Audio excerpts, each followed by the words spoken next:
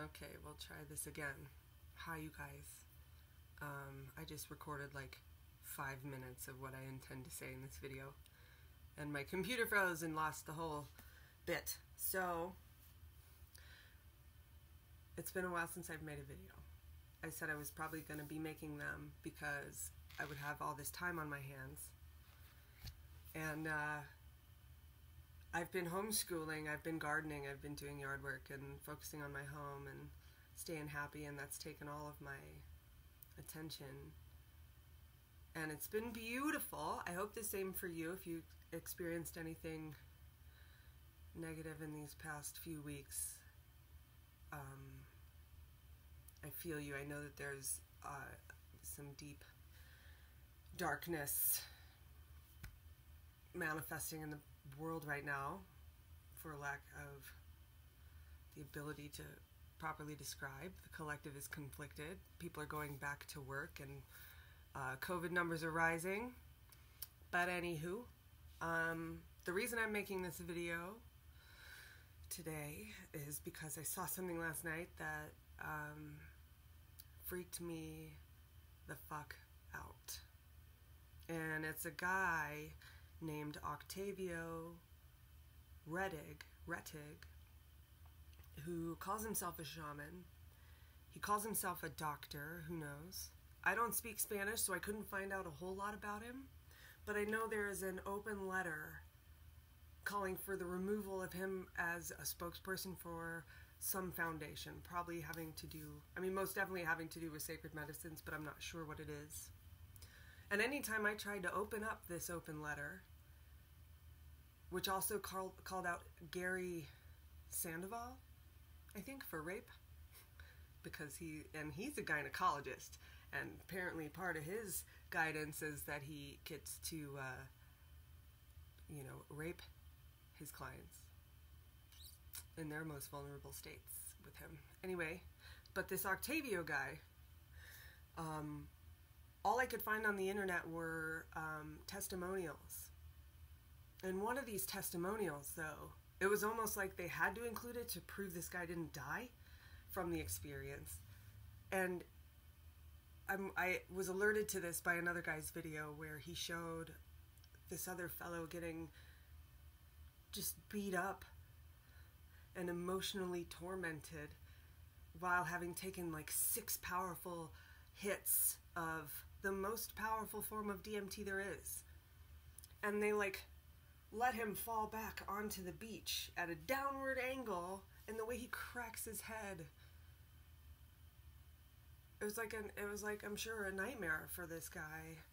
And he was just in tears saying no to this man who still can you know got him to to hit it again. Cuz man um, but this video that I'm linking in the description is much much worse.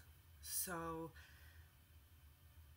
this guy takes a hit, goes into that out of body place where you don't have control over your body.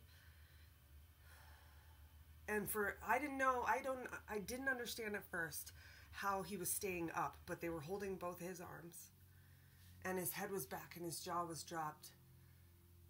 Um, and he was just stiff and eyes rolled back and then he the Octavio starts pouring water down his windpipe. And for 6 minutes you listen to this man drowning and he adds water like two more times and then his buddy his fucking assistant when he finally lays down excuse me um his assistant pours water into his nose and mouth as he's trying to recover you see the guy afterwards, but the the camera guy stops filming his face because it gets so blue. I, you see it turning purple as he's gurgling water through his lungs. And then the camera guy stops filming his his his face, so you see his body working at breathing and surviving. And uh, this shaman is patting his belly like you're you're doing good, and uh, I mean, he's trying to kill this guy. And he has killed people. I know of a specifically a 40 year old woman from Mexico who died of aspiration, but hers was also the water. But he put rapé, I don't know how to say it, the tobacco you blow into somebody's nose. He gave her so much of that, her body went into shock. She aspirated her vomit once that tobacco got in her lungs. It was disturbing. I couldn't sleep. I'm working on two hours of sleep, and I had to talk about this. Um, he's he's selling this shit like he's helping people. And when you come out of a, an experience like this, it is automatic bliss and, and euphoria. No, and you aren't in your body to know what's happening. I don't. I'm not sure what the guy says in the testimonial because I couldn't. I don't understand the language. But he's standing there. He's half smiling. It looks as though he struggled with getting the water out. He was he was shirtless in the video, but he was wearing a shirt in the end. Um, I'm sure he went home and succumbed to his injuries from pneumonia. Just the sound of it. And that they're shaking their rattles and they're singing and chanting. This is evil. People are seeking help because they're desperate.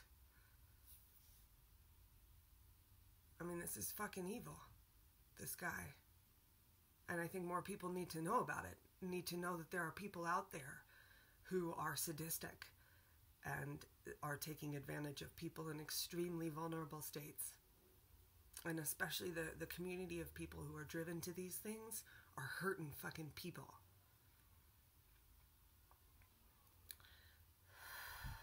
Anyway, this is for anybody um, that my videos reach. Like, you know who you are. I know who you are, and I know how important this shit is um, to avoid, uh, to rally against, and to um, to shine a fucking spotlight on because that was horrendous. Anyway, watch the video at your own risk. Comment, talk to me about this. What do you think? Uh, it's Mother's Day, so I'm gonna go uh, uh, get ready to celebrate my children with my children. All right, happy Mother's Day, moms. Uh, gross. I don't want to say happy Mother's Day on a video like this, but it is what it is. Um, all right, I'll see you.